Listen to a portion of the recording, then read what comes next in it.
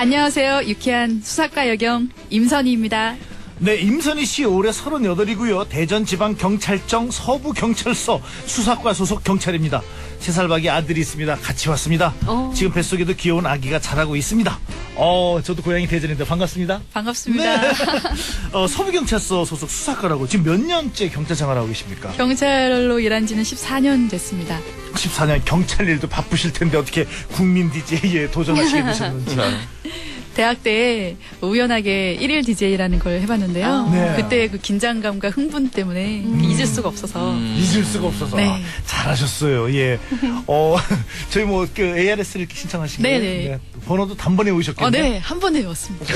오, 왜냐면은요 지금 보니까는 수사과 소속인데 지금 어떤 일을 하고 계세요? 수사과에서 어, 뭐 저는 수사과에는 뭐 강력팀, 폭력팀, 네. 그리고 뭐 지능범죄 수사팀, 경제사범 수사팀, 예. 어, 그리고 뭐 과학수사팀 여러 가지가 있는데요. 그중 에서 저는 경제범죄 수사팀에서 근무하고 있습니다. 그냥 또 쉽게 표현하면은 잡으러 가지는 않고 그냥 잡혀온 사람들 수사하는 거죠? 네, 그렇죠. 말하면 사기꾼들 잡 저기 네네. 정확하게 표현해 우리 예, 이제 예, 쉽게 얘기해 저 사기꾼. 그럼. 예. 쉽게 쉽게 가야 돼요. 네. 쉽게 쉽게. 네. 어 그러면은 하루 일과 자 사기꾼들 잡혀왔습니다. 하루 네. 일과 어떻게 되십니까? 어, 주로 하루 일과는 듣는 거예요. 어. 이제 몇 가지 질문을 던지고 계속 네. 그 사람의 이야기를 듣고 조사를 하는 과정이 대부분 듣는 과정입니다. 네. 처음부터 이렇게 뭐 솔직하게 얘기하진 않죠. 그럼요. 그거 참 신경전일 것 같아요. 네, 거짓말을 하면 거짓말을 하는 대로 계속 들어줍니다. 근데 사기꾼들 아. 특성상 네. 다른 범죄자들보다 말을 더 잘할 것 같아요, 왠지. 진정한 사기꾼은 정말로 말을 잘해요. 그쵸. 네. 그래서 아, 정말 저도 너, 넘어가죠. 듣다 보면 그쵸. 네, 네. 진짜 진짜 같이. 네네. 음. 약간 좀, 좀 부족한, 음? 뭐, 부족한 사기꾼이라고 하면. 초짜들. 좀 앞에, 네, 앞에가 잘안 그러면은, 맞고. 네, 그럼 그런 분들은 좀 화를 많이 내는 편이세요. 아. 네. 야, 그 단수가 높은 사기꾼은 그냥 화내는 게 없이 그냥 조만조만 그냥. 조용하게 네. 할 얘기 다 하고 뭐 네. 진짜처럼 느껴지게. 그러니까 남의 돈 먹는 게 쉬운 게 아니에요. 예. 진짜 이게 논리적인. 어, 네. 지금 그 경제 범죄, 아 쉽게 할게 사기꾼을 수사하고 계시는데 그 전에는 뭘 하셨어요?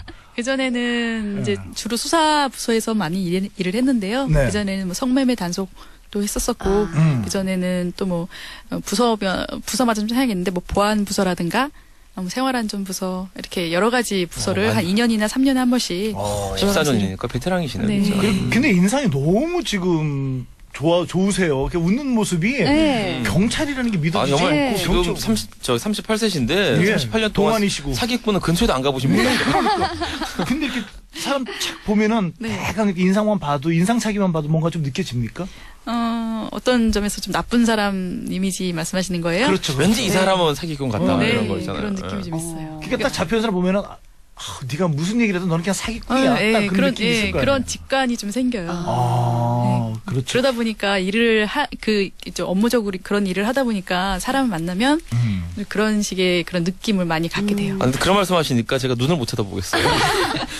아, 근데 그, 사- 그 사기꾼들이 네. 사기꾼들이 뭐 보통 뭐 보- 얼마나 사기를 많이 쳤겠습니까? 근데 수사하는 사람이 이제 우리 여자란 말이에요. 네. 그러면 뭐 좀 여자기 때문에 좀 이렇게 좀 얕보거나 그러진 않아요? 아, 얕잡아 보거나 이런 예, 거요? 예. 근데 조금 특이한 게 네. 제가 어, 수사 부서에서 이제 경제사범 쪽에서는 한 5년 정도 일을 했었는데요. 아, 네. 그런 경험이 한 번도 없었어요. 오. 보통은 남자랑 여자랑 같이 일을 하게 되면 음. 아무래도 여자를 조금은 어, 좀, 좀 폄하하는 그런 음. 경향이 없지 않아 있는데 이 공권력을 다루다 보니까 그런 건지 아니면은 음. 사람들 자체가 좀 위축이 돼서 와서 그런지 모르겠지만 음. 그런 경우는 없어요. 어떻게 좀 이렇게 임선희 씨 좀 이렇게 무섭게 다룰 때도 있을 거 아니에요. 막 소리도 좀 아 지르고. 요즘은 그렇지 않아요. 아, 안 그래요? 영화에서는 좀 과하게 표현이 되는데요. 음. 어, 인권이 워낙 중요하게 그렇게 부각이 음. 되고 있고 음. 더군다나 또 민원인에게 우리 내부적으로는 친절한 경찰관 이미지를 계속 어, 나가고 있기 때문에 뭐, 뭐 반말을 한다든가 뭐 원성을 높인다든가 이렇게 할 수도 없고 음. 만약에 그렇게 되면 또 내부적으로 또 그걸 통제하는 그런 부서가 아. 있어서 아. 네, 민원인 위주의 범죄자라고 위주의- 할지라도. 네네 아. 맞습니다. 근데 영화에서 보면은 일단 반말을 깔고 그냥 반말부터 시작하는 경우가 네. 많던데. 근데 또 보통 영화에서 다뤄지는 그 어떤 부서들은 대부분 다 강력계 중에서도 거의 뭐 조폭이나 이런 부분들이 안 들려서 서류 같은 걸로 이렇게 것 머리 막. 네. 내려치고 네. 그러잖아요. 네. 좀 맞아도 되는 사람들이라서 아마 그러지 않을까. 그러니까요. 아주 그런 특정 범죄 같은 경우 네, 네. 공분을 사는 그런 범죄들이 네. 많이 영화에 등장해서 네. 그럴 수도 있어요. 예. 지금 그 여자 경찰이 참 많죠. 네. 수사과에도 많이 있어요. 수사과에는 이제 저희 경제팀 같은 경우에는 요즘에 좀 늘어나고 있는 추세고요. 네. 그 전에는 거의 없었어요. 음. 없다가 이제 최근에선 좀 늘고 수사 어, 저희 경제팀 사무실이 11명인데 그 중에서 4명이 어. 여경입니다. 아무래도 강력팀은 아무래도 위험스러우니까는 좀 네. 적죠. 네. 음. 저희 경찰서에는 아직은 없고요. 예. 어. 서울권에는 좀 많이 있을 아, 거예요. 네, 서울권은 많이 있다고 네. 그러더라고요. 우리 임선희 씨는 그러면 무술 같은 경우도 좀 많이 좀 하셨겠네요. 검도 일단 어, 검도 일단. 오. 오. 네. 그 네. 사기꾼들의 네. 대표적인 특징이 하나 있다면 뭐 한 가지만 대표적으로 사기꾼? 같이 않다라는 게 느껴지는 게 봤을 때. 왠지 옷도 잘 입을 것 같아요. 깔끔하게. 어, 어. 음, 그럼 기본적으로 옷도 잘 입고요. 말도 잘하고 음. 또 그렇다고 또 잘생기거나 이런 사람들이 또 뭐 사기를 치는 것도 아니고요. 그냥 평범해 보이는 사람들도 많이 있습니다. 근데 음, 기본적으로 꽁것을 바라면 안 되는 것 같아요. 아. 네. 누구나 그 피해를 당하시는 분들 사기를 치려는 그 사람도 상대방 상대방의 그런 마음을 움직이는 건데 그거는 상대방이 뭔가를 공것으로 바라기 때문에 아하, 사기를 당하지 않아요. 사기를 당할 때도. 네, 네. 어. 음, 아, 중요한 말씀을 해주셨어요. 자, 경찰 생활 지금 14년인데요. 네. 어, 경찰로서 가장 힘들 때와 가장 네. 뿌듯할 때가 언제 있으셨습니까? 아, 가장 힘들 때는, 어, 민원인들께서 음. 좀 경찰을 믿지 못하고 뭐 편파 수사한다라는 음. 그런 말씀을 하실 때. 근데 특히 그런 분들 중에서도 어, 수사 자체를 자기 주도적으로 끌고 가기 위해서 일부러 경찰관을 좀 당황스럽고 좀 곤혹스럽게 만들려고 아. 이 경찰관이 편파 수사합니다 이렇게 어, 아. 상 상사에게 그렇게 마치 고자질하듯 그렇게 말씀하시는 분들이 있어요. 그러면 음. 일하다가 정말로 힘이 쭉 빠지죠. 네, 네. 음.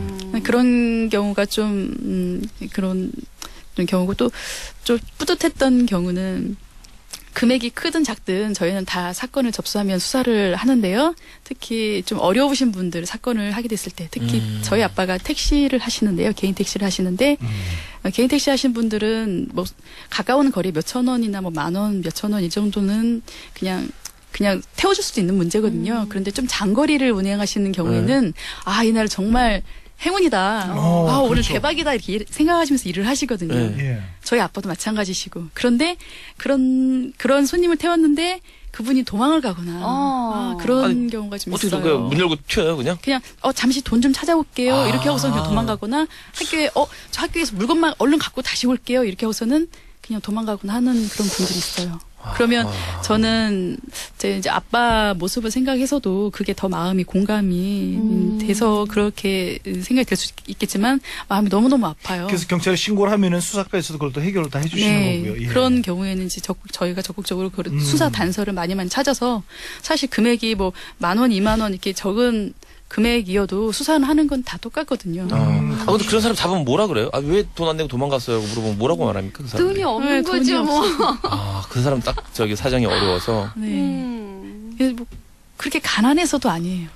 아, 학생들이 그러- 예, 음. 학생들이 그러는 경우도 좀 있거든요. 아, 아, 그러진 학생들이. 않았으면 좋겠어요. 우리 학생들 예, 젊은 사람들 좀 그러지 않았으면 네. 마음 아프시니까. 빨리, 아. 빨리 군대 가야 돼요. 네, 우리 그 목소리가 굉장히 좋으세요. 네, 진짜 뭐 감사합니다. 어, 학교 때 일을 디제를 하셨다고 하는데 지금 어, 아들 밖에 잘 네. 놀고 있어요 지금 아. 세 살이라고요. 네. 지금 저기 몇- 밖에 계신 분이 남편이에요? 아빠? 네네. 어, 남편은 지금 어떤 일 하고 계시고요? 어, 시간 강사예요. 어, 네. 오늘 그냥 시간 빼셨네. 아, 네. 남편 체격이 강력계 형사예요. 지금 깜짝 그러게요. 놀랐어요. 남편이 형사 같아. 남편분 체격이. 지금, 지금 몇 개월 되셨어요? 임신은 지금 4개월 차. 예, 아, 네. 이제 편안해지셨네. 네. 대전서 이렇게 같이 같이 올라오신 거예요 오늘 아침에? 네. 예. 애가 참 순하네요. 머리 붙이지도 않고 그냥 아, 뭐. 우리 아들이요? 네. 아들은 네. 예. 어, 그래, 그래, 그래. 네. 여러분 지금 보는 라디오로 어, 아빠와. 아들도 지금 보여드리고 있습니다. 네. 자, 이번 도전자 유쾌한 수사가 여경. 제 나이 서른 무렵에 주위에서는 결혼하라고 난리가 났습니다. 더 늦으면 손자리도 안 들어온다고 소개를 받으면 무조건 세 번은 만나보라 합니다. 그렇게 이런저런 사람을 만나보던 중에 한눈에 쏙 들어오는 맞선 남을 만났습니다.